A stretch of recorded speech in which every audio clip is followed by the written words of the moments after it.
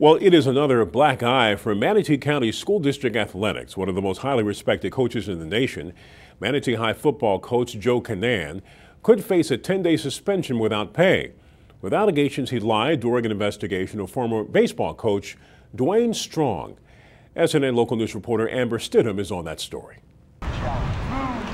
He's the face of Manatee High School football. And now head coach Joe Kinnan is looking at a possible 10-day suspension without pay.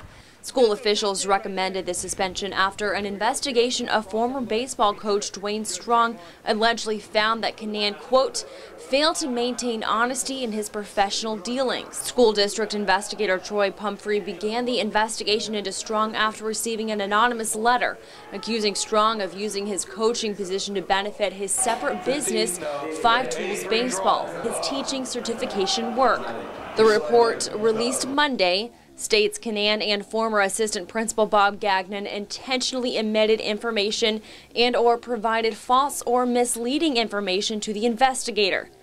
Through his attorney, Douglas Peebles, Kinnan acknowledged he could have been more diligent in oversight and follow through. He goes on to say the allegations are far overreaching. Kinnan is expected to appeal the recommendation. Strong resigned from his position in October while Kinnan announced just last week he would step down as athletic director but remain head football coach.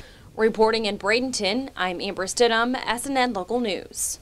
Well, calls to the school board, Coach Kinnan and his attorney were not immediately returned to SNN Local News. But Superintendent Rick Mills also recommended former Manatee High School Principal Bob Gagnon be suspended for 10 days without pay for allegedly not cooperating fully in that investigation. Gagnon's appealing the district's decision to terminate him after he was charged with failing to report child abuse in the case against former Manatee assistant football coach Rod Frazier.